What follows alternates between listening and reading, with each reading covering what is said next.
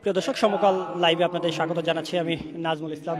দীর্ঘ পনেরো বছর পর প্রকাশ্যে চীনমন্ত্রী সম্মেলন কেন্দ্রে জামায়াতের রুকুন সম্মেলন অনুষ্ঠিত হয়েছে এবং এই সম্মেলনকে কেন্দ্র করেই দেখছেন এখানে হাজার হাজার নেতাকর্মীদের উপস্থিতি রয়েছে।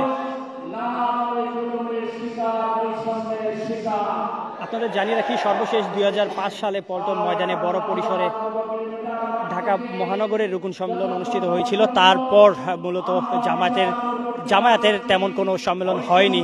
আজ ১৯ বছর পর চীনমৈত্রী সম্মেলন কেন্দ্রে জামায়াত বড় পরিসরে সম্মেলন করছে এবং এখানে আমরা নিরাপত্তার ব্যাপারটি দেখলাম। এখানে উপস্থিত রয়েছেন আইনশৃঙ্খলা বাহিনী এবং এখানে প্রবেশের সময় চেকিং করছে এখানে জামাতের, জামাতে ইসলামের নেতাকর্মীরা।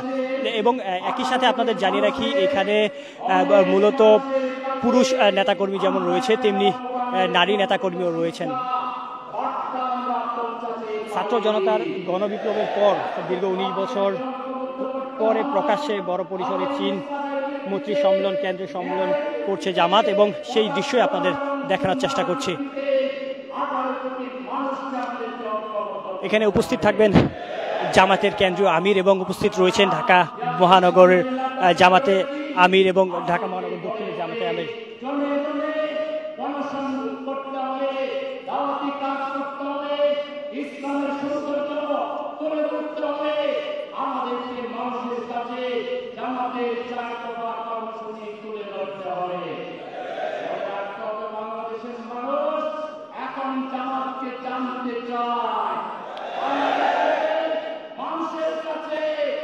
এই সমাবেশ মূলত সকাল নয়টায় শুরু হয় এবং কেন্দ্রীয় নেতারা বক্তব্য প্রদান করছেন। এবং ঢাকা মহানগর দক্ষিণ জামাতে যে আমির রয়েছেন, তিনি বক্তব্য প্রদান করছেন। এবং একই সাথে আপনাদের জানিয়ে রাখি, এখানে আহ, চীনমৈত্রী সম্মেলন কেন্দ্রের পুরোটাই জামাত ইসলামের নেতাকর্মীরা কর্মীরা ভরে গিয়েছে। এখানে হাজার হাজার নেতাকর্মীর উপস্থিতি আমরা লক্ষ্য করছি। একই সাথে এখানে যারা নারী কর্মীরা রয়েছেন তারাও এসে উপস্থিত হয়েছেন। তবে তারা পর্দার আড়ালে রয়েছেন।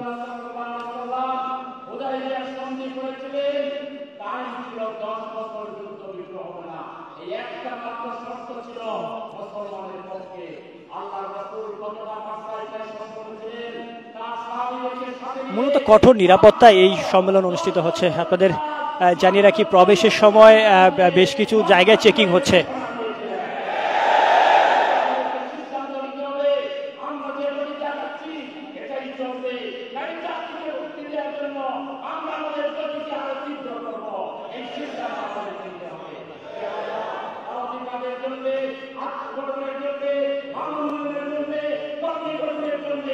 আমরা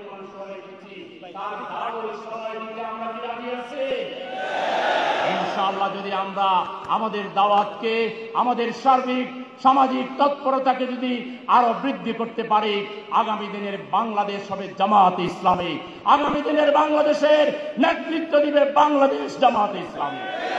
আমি এই সম্মেলনের সর্বতভাবে কল্যাণ কামনা করি, সফলতা কামনা করি প্রিয় ভাই বোনদেরকে আবারও শুভেচ্ছা জানিয়ে আমি আমার বক্তব্য এখানে শেষ করছি। আল্লাহ হাফেজ, বাংলাদেশ জিন্দাবাদ, বাংলাদেশ জামাত ইসলামী, জিন্দাবাদ।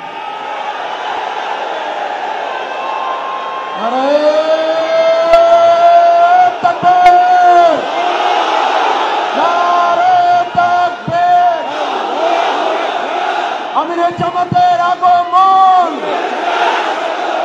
শুভেচ্ছা স্বাগতম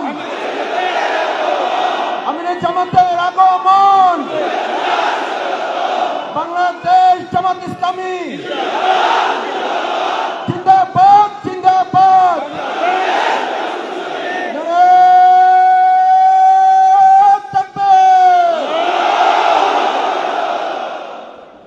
সংগ্রামী ভাই এবং বন্ধুগণ, সম্মানিত সুদী মণ্ডলী, শহীদ পরিবারের গর্বিত সদস্যবৃন্দ, আজকের এই ঐতিহাসিক রোকন সম্মেলনে এ পর্যায়ে আমাদের সামনে গুরুত্বপূর্ণ বক্তব্য রাখবেন বাংলাদেশ ইসলামী ছাত্র শিবিরের সাবেক কেন্দ্রীয় সভাপতি, বাংলাদেশ জামাত ইসলামীর সম্মানিত কেন্দ্রীয় নির্বাহী পরিষদের অন্যতম সদস্য, জননেতা জনাব অ্যাডভোকেট মতিউর রহমান আকন।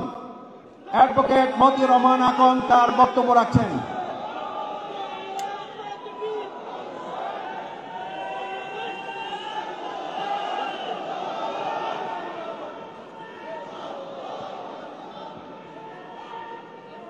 الحمد لله الحمد لله رب العالمين الصلاة والسلام على سيد المرسلين وعلى آله وأصحابه أجمعين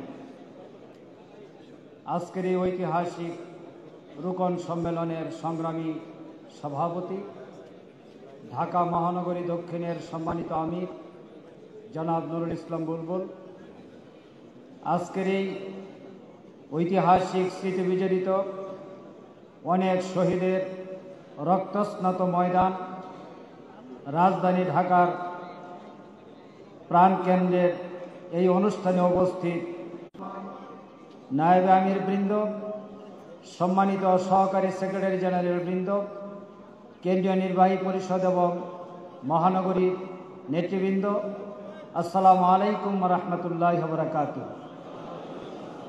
অক্টোবর,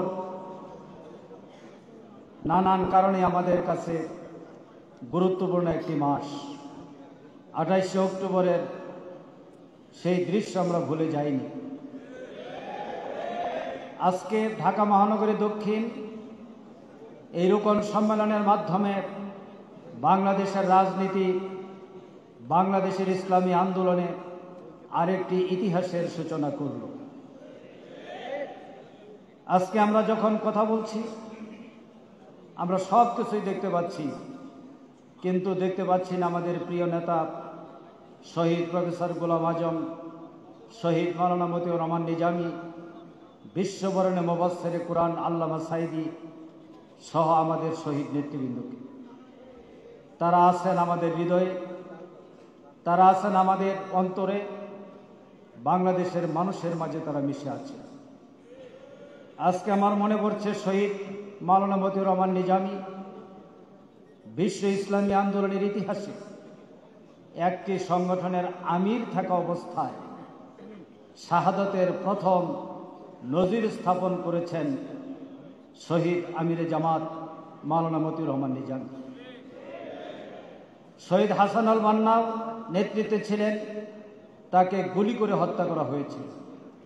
আর আমিরে জামাত শহীদ নিজামীকে মিথ্যা মামলা দিয়ে, মিথ্যা সাক্ষ্য দিয়ে সাজানো ট্রাইব্যুনালে দণ্ডিত করে ফাঁসি কার্যকরের নামে তাকে হত্যা করা হয়েছে। বিশ্ব ইসলামী আন্দোলনের ইতিহাসে তিনি এক দৃষ্টান্ত স্থাপনকারী ইসলামী আন্দোলনের নেতা। তার শাহাদতের আগে, মাত্র দুই দিন আগে এখানে মঞ্চে আছেন আমরা চারজন আইনজীবী সাক্ষাৎ করতে গিয়েছিলাম। তার দুটো কথা আজকে এখানে বলার, না বলার বলতেই হচ্ছে। তিনি বলেছিলেন যে আমাদের শাহাদাত বাংলাদেশে পরিবর্তনের সূচনা করবে। আজ আট বছর পর আমরা দেখতে পাচ্ছি সত্যি শহীদ মাওলানা মতিউর রহমান নিজামীর শাহাদাত বাংলাদেশে পরিবর্তনের সূচনা করেছে। তিনি আরেকটি কথা বলেছিলেন, একটি স্বপ্ন। স্বপ্নের কথা বলতাম না, কিন্তু বুখারি শরীফের হাদিস, একজন মোমেনের স্বপ্ন নবতের ছেচল্লিশ ভাগের এক ভাগ। সুতরাং স্বপ্ন একটি মেসেজ শহীদ নিজামী বলেছিলেন, আমি একদিন স্বপ্নে দেখি বিষধর সাপ আমাকে আক্রমণ করেছে। আমার কিছু হয় নাই, সাপটির মৃত্যু হয়ে গেছে। আমরা জিজ্ঞেস করেছিলাম, এর অর্থ কি? তিনি বলেছিলেন বিষধর সাপটি হল বাংলাদেশের বিষাক্ত রাজনীতির একটি নমুনা। যারা ইসলামী আন্দোলনকে উৎখাত করতে চায়, তার আঘাত করার মাধ্যমে তারা নিশ্চিন্ন হয়ে যাবে, ইসলামী আন্দোলন টিকে থাকবে তার স্বপ্ন আজকে আমরা বাস্তবে দেখতে পাচ্ছি। শহীদ কামরুজ্জামান, তারও দুটো বক্তব্য, এখানে অ্যাডভোকেট মশির আলম ভাই আছেন। ওনার শাহাদাতের ঠিক আগের দিন তিনি বলেছিলেন আমাদের এই শাহাদাত এদেশের তরুণ সমাজকে জাগিয়ে তুলবে এবং তাদের নেতৃত্বেই এই দেশে পরিবর্তন হবে ইনশাল্লাহ পাঁচই আগস্ট এদেশের তরুণ ছাত্র যুব সমাজের নেতৃত্বে পরিবর্তন হয়েছে। শহীদ আল্লামা সাইদি, তার প্রত্যেকটি বক্তব্য আজকে আমরা বাস্তবে দেখতে পাচ্ছি।